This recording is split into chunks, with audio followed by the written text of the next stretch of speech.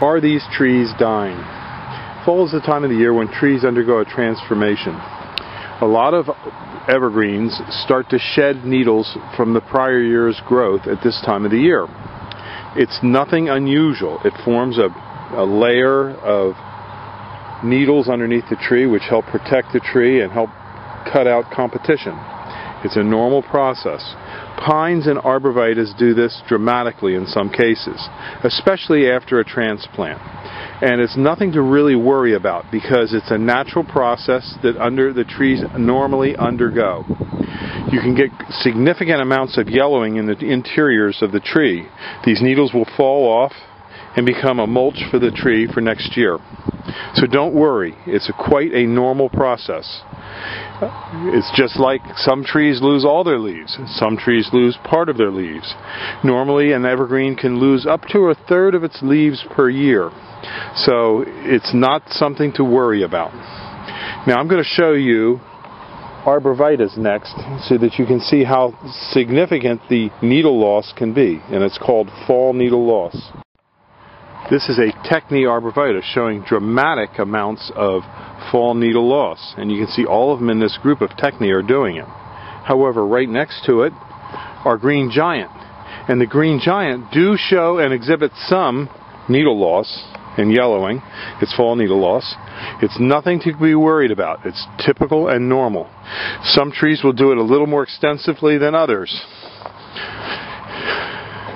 And as you can see over here on the larger green giants, there are uh, a significant amount of needle loss, but it's again, it's nothing to worry about.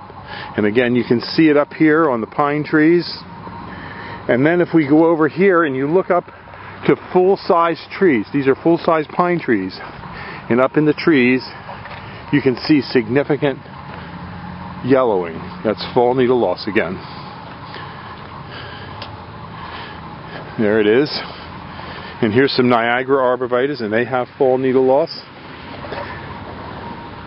And as you can see on the ground here, these are our boxwoods, it forms a layer of needles. You can see right up, even in this large pine tree, you can see the fall needle loss. So it's nothing to worry about. Now I'm going to talk to you about some other things uh, for nursery stock and care of arborvitaes. Thank you.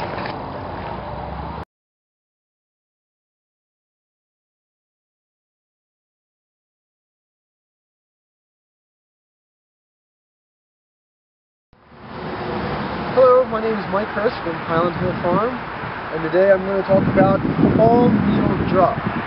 The fall needle drop happens to all evergreens, regardless of what kind they are, and usually it's found on the inside, interior part of the, of the tree, such as this right in here. Uh, usually, all evergreens lose about one third of their canopy every year. Most people don't see it because it's happening on the inside part of the tree regardless whether it's hemlock or a holly, a cypress or an arborvitae, a spruce or the pisceae, they all have this fall needle drop. Uh, usually what happens is, like again, it does fall on the inside, and sometimes when we dig it up out of the ground, they experience more, abnormally more fall needle drop than what they would do if they weren't in the ground. This is due because of the stress they have when they get dug up out of the ground. Since the roots have been cut when we dig them, there's not as many roots in the ground to support the foliage up top, so that the plant does not give, get as much water as it normally does.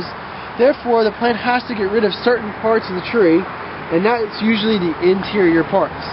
You can look at that and say, oh, it's very bad, my tree's turning brown, but it's actually a good response. It's better than having a part of the tree or a branch die off or any, like, all the lower parts dying off. It's much better than that.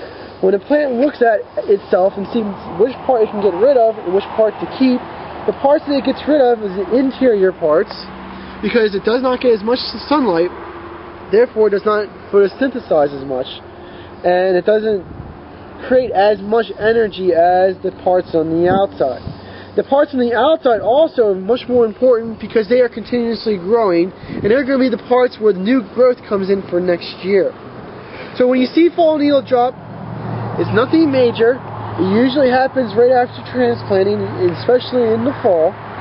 And don't be too alarmed by it. It is a natural phenomenon, and that's all evergreens have. And sometimes it can be quite severe and scare someone. Is correct, Mike? Yeah. Like down here, you could look at these trees and say, wow, that's a lot of fall needle loss or drop. And actually, the trees are fine.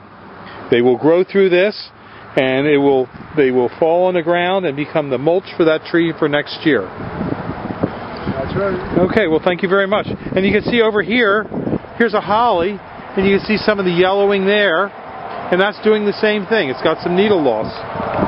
Nothing to be concerned about.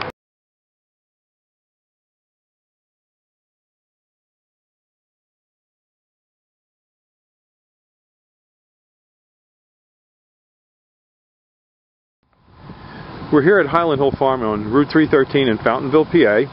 I'm Bill Hurst doing the photography. I own the uh, Highland Hill Farm.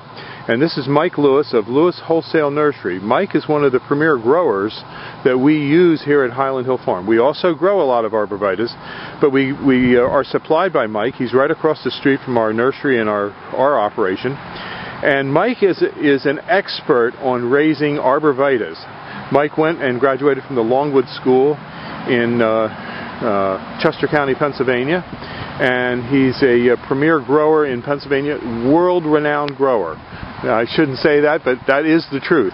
Everyone in uh, northeast Pennsylvania and the uh, eastern seaboard who raises arborvitaes and, and nursery stock knows Mike Lewis here.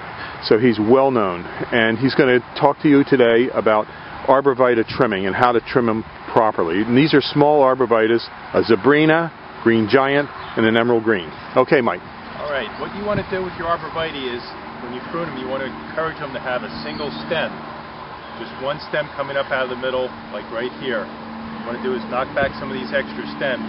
Here in the Northeast, we get a lot of wet, heavy snow, and if you have too many stems, they have a tendency to pull apart.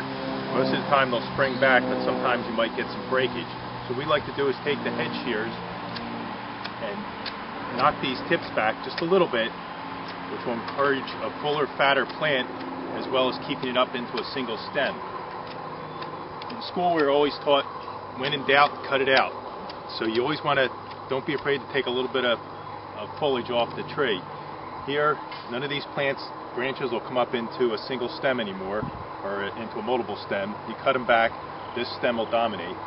Here on the green giant, we're going to do the same thing, just this is a fairly full plant, so we're just going to tip it back all the way around to make a nice, fat, heavy plant.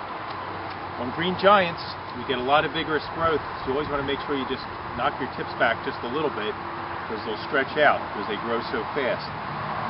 On the emerald greens, it's a much fatter, fuller plant, so you don't have to shear them nearly as hard. Just tip them back, go around the plant, and again, you have a couple little stems developing here.